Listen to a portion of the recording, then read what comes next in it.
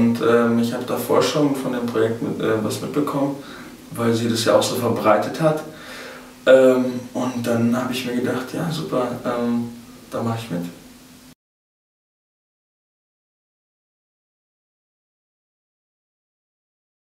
Das ist für mich gerade so ein zentrales Thema und ich glaube auch so gut eigentlich, ja doch für jeden Menschen, weil man sich selbst liebt, dann fallen ganz, ganz viele Konflikte einfach weg.